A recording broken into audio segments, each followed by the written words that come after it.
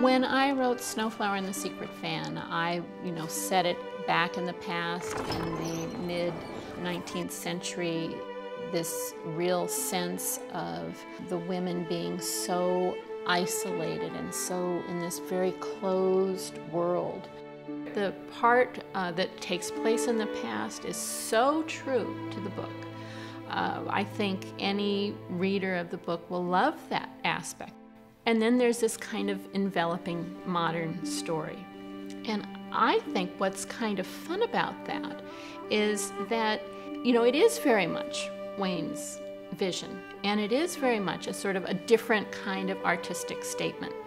And that I really admire that, that he was able to do that and not stick necessarily so literally to the novel. And I think that when you're an author and you give your book to someone else and you give your book to a director, you're saying, I'm an artist, you're an artist too.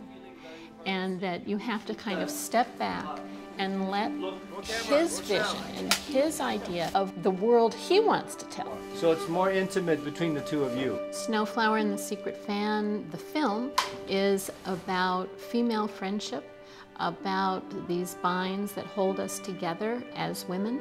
It's about the things that we go through together and how we stand by each other, but also sometimes how we fail each other, how we atone, how we make up. I worry about you and it's all included with the secret language of women, which you can sort of take as the actual literal secret language of Nushu, but also that secret language that women have as friends.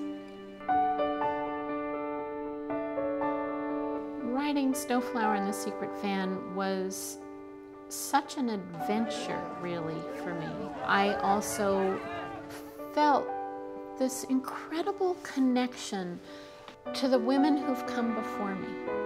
And I guess, you know, even though I don't necessarily have a hope for how the audience will react, just as I didn't have a real hope for how the readers would react, I think that they will connect to that part of the story.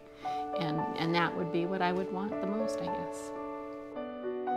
They should just look at this story as Snow Flower and the Secret Fan, the novel, with some icing on top.